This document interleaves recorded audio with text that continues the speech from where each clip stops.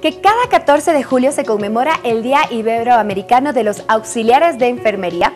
Esta profesión implica mucho compromiso y vocación, pues son ellos quienes se encargan del cuidado y acompañamiento de las personas que están hospitalizadas.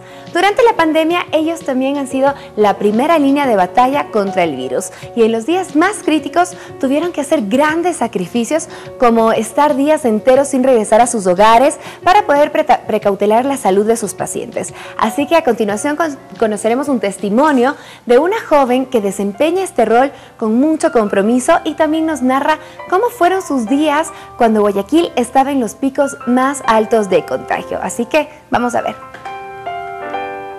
Quienes desempeñan el rol de auxiliar de enfermería son el vínculo entre el paciente, los doctores y los familiares.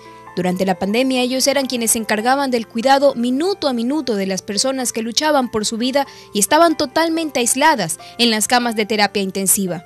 Leontine López es una joven que cumple esta profesión en el Hospital de Líes de los Ceibos con mucha responsabilidad y amor por su trabajo. Gracias a la profesión que llevo, me ha dado la oportunidad de servir a las personas en esta situación como es la pandemia. Cabe recalcar que no es la primera vez que hago este tipo de trabajo.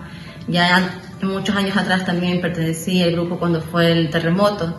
Entonces, llevo una experiencia, a pesar de mi corta edad, mm, satisfactoria, ya que con mi trabajo, con el trabajo de todos los compañeros de la salud, médicos, enfermeros, hemos podido lograr salvar muchas vidas. Y eso como personas nos llena muchísimo. A pesar de que disfruta su trabajo, no niega que es una profesión que implica grandes sacrificios, sobre todo en medio de una pandemia, donde tuvo que permanecer en el hospital días enteros para precautelar la salud de sus pacientes. Como ser humano he puesto toda mi dedicación, el tiempo que se le ha dedicado, el dejar de comer, a veces inclusive tenemos que alejarnos de nuestras propias familias para poder dar una buena, un buen cuidado. Y yo creo que eso es lo que realmente es nuestras, nuestras profesiones, el cuidar y el de proteger.